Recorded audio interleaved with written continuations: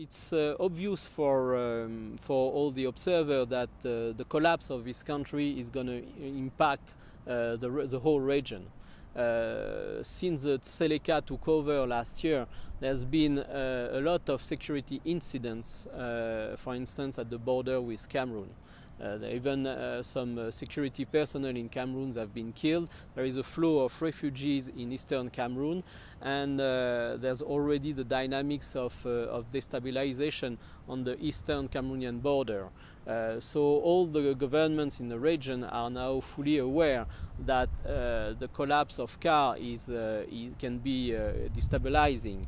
Uh, first because of, uh, of the move of uh, militiamen and armed groups to their territory, and secondly also because there is a fear that what's going on, especially those attacks against the Muslim community, can attract actually some Muslim radicals coming from other countries. Chad has uh, basically uh, two uh, main concerns when it comes to the Central African Republic. The first concern is of course security because in the past uh, some uh, opponents uh, managed to use Central African Republic as a base for, for armed opposition I mean.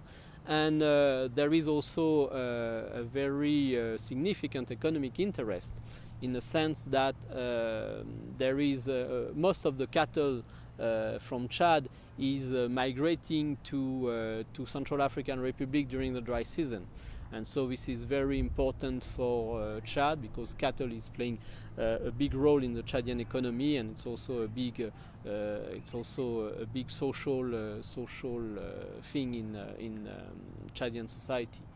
Um, so uh, those are the two main interests. There are some people who talk, of course, about uh, oil because the oil fields in Chad are, are, not far from the border of Central African Republic.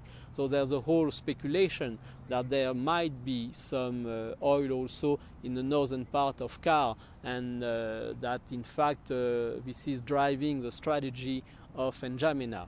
Um, I think uh, there is a there is maybe an element of truth in, in that, but uh, it still has to be uh, demonstrated that there is oil in Central African Republic.